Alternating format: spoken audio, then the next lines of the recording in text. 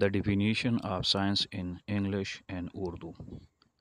the study of a natural thing is called science قدرتی اشیاء کے مطالعے کو سائنس کہتے ہیں